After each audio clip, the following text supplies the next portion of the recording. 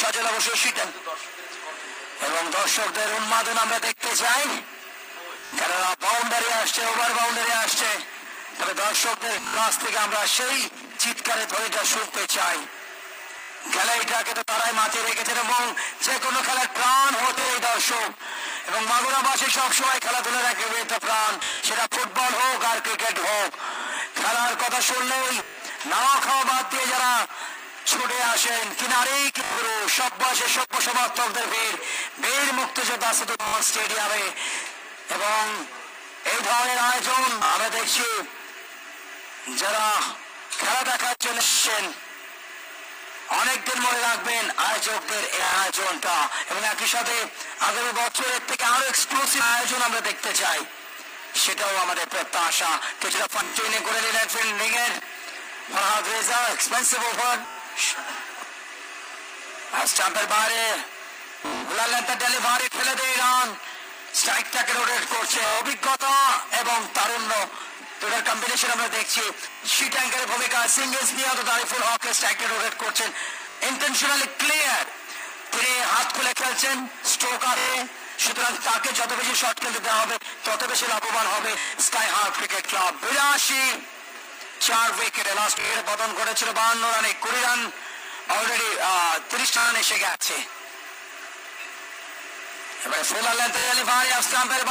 ঠেলে দেয় রান অসাধারণ running beaten the wicket score চুরাশি চার উইকেটে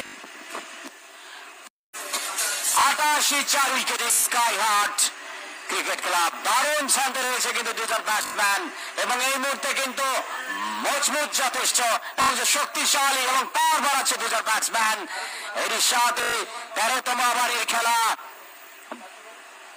অর্থাৎ এবং লাস্ট বারো বলে বত্রিশটি রানে এসছে। এবং অবশ্যই এটি দলের জন্য অনেক অনেক সরকার একটি বিষয় দেখা যাক কি ঘটে।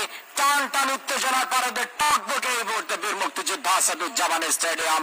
সম্মানিত সুবৃন্দ, Sheikh Russel MPL T twenty উভয় দলই কিন্তু চড়াই উতরাই পেরিয়ে প্রতিবার বিকাশ ঘটে এবং নতুন আসরে উদ্ভাসিত হয়ে তারা এই পারবি খেলার গৌরব স্বাচ্ছন্দ্যে খেলছেন এবং তাদের এই যে ব্যাটিং সৌন্দর্য উপভোগ করছে, আগত হাজার হাজার ক্রিকেট প্রেমীরা বীর মুক্তিযোদ্ধা আসাদুজ্জামান তার হিসাবে এসছে আরাফত সানি।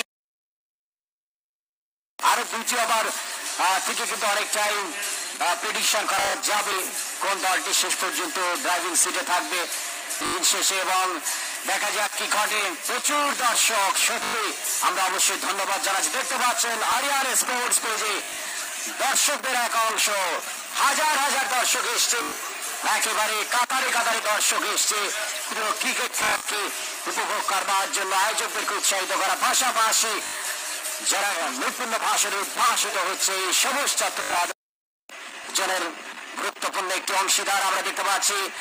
নতুন ভবন প্রান্ত থেকে বল করবার জন্য এসছে। নাজমুল হাসান আপু নাগিন আপু, সেই কোবরা সবল কি দিতে পারবেন দলের জন্য? সেটি দেখবার জন্য চোখ রাখুন।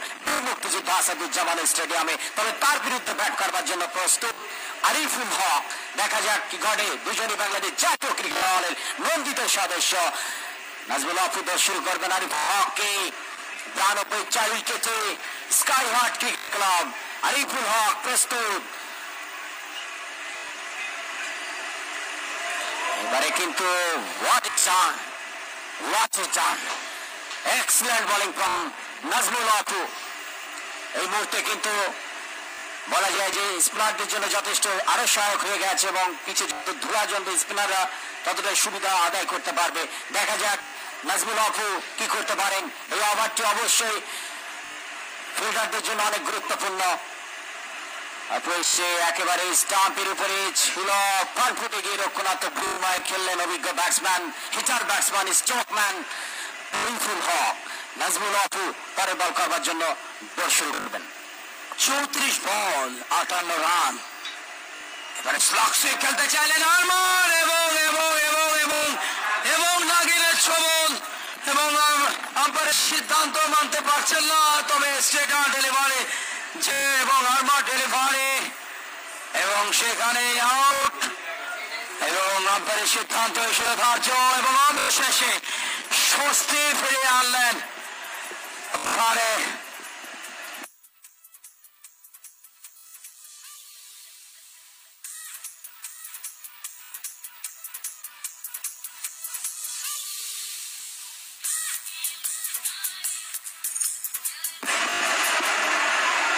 অত্যন্ত দুঃখজনক অত্যন্ত দুঃখজনক